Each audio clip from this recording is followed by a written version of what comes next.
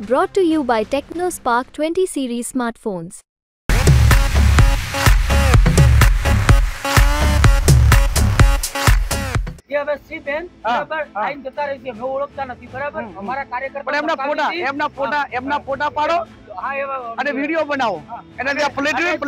Police આજે અમે સ્થાનિક છીએ અહીંયાના માજી સરપંચ છું ને પોલીસની હાજરીમાં એક ચૌધરી મને ધમકાવતો એટલે મારે તે પોલીસ વાળાને એમ જ કેવું છે તું આ આ પોલીસની વર્દી ઉતારી લો ને જબ્બો લેગો પહેરી ના ના ભાજપનો કેસ કર આજે સાત પાંચ બે હજાર ચોવીસ એટલે આજે મતદાન અને લોકશાહીના પર્વ એક ડેમોક્રેસીનું મતદાન થઈ રહ્યું છે ત્યારે. અ, ચૂંટણી પંચ હોય પોલીસ અધિકારી હોય મતદારો હોય કે જે કઈ ડિપાર્ટમેન્ટો વહીવટી તંત્ર તટસ્થ અને એક ખેલદિલીપૂર્વકનું ચૂંટણીનું આયોજન ને મતદાન થાય એવું આપણે લોકશાહીમાં ઈચ્છતા હોઈએ છીએ. પણ ક્યાંક ને ક્યાંક દાંતા વિસ્તારમાં આવું નથી થઈ રહ્યું. દાંતા તાલુકાના વસી ધરેડા અને સિયાવાડા આ ગામોની અંદર ડુપ્લિકેટ પોલીસની પ્લેટો. કોઈકે લખાયેલું છે સીઆરપીએફ કોઈકે લખેલું છે પોલીસ. એટલે આ પોલીસનું અને સીઆરપીએફનું અપમાન છે.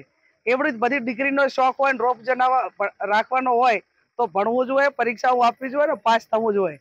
અને આ બધા ફેલ થયેલા હોય કોઈ ના હાંગરતું હોય આવા એક જ સમાજના જે ચૌધરી સમાજના બીજા જિલ્લામાં અહીંયા આવીને દાંતા તાલુકાના બૂથોને બાનમાં લીધા છે, લોકોને ડરાવે છે, ધમકાવે છે અને ભાજપમાં મતદાન કરવા માટે પ્રેરિત કરે છે.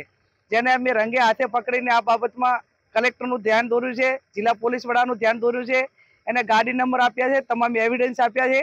આ તમામની સામે કાર્યવાહી કરી અને આ લોકશાહી બચાવવાનું કામ પોલીસ વહીવટી તંત્ર અને ચૂંટણી પંચ કરે એવી હું અપેક્ષા રાખું છું. અમે ગાંધીજીના રાહે ચાલવાવાળા ગાંધી વિચારધારાને માનવાવાળા લોકો છીએ.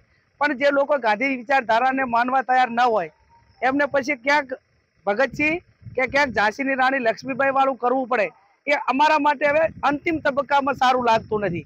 એટલે લોકશાહીની પ્રણાલિકાને ધ્યાનમાં રાખી પોલીસ તંત્ર આવા બહારના જિલ્લા લોકોને જે તે ગામોમાંથી બહાર કાઢી અને લોકશાહીને ન્યાય તંત્રને લોકોને ખુલ્લા દિમાગથી પોતાની મરજી પ્રમાણે મતદાન કરવા દે એવી હું એમની પાસે અપેક્ષા રાખું છું. આ અમે પોલીસને જાણ કરી છે એમને બધા વિગતો આપી છે.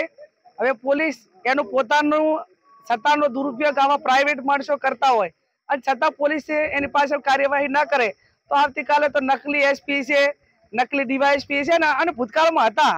આમાં પાછા ઘણા બધા પોલીસની અંદર પણ ડુપ્લિકેટ નોકરીમાં આવી ગયા છે. એટલે એવા માણસો કદાચ આ બાબતમાં પ્રેરિત કરવા માટેના પ્રયત્નો કરતા હશે. અમે આવા અધિકારીઓની અમે કાર્યવાહી નહીં કરે તો કંઈક અધિકારીઓને કોર્ટના દરવાજા ઉધી જવું પડે કે ક્યાંક આવા લોકોને અમારી રીતે કાર્યવાહી કરવી પડે તો અમે તમામ પ્રકારની કાર્યવાહી કરીશું.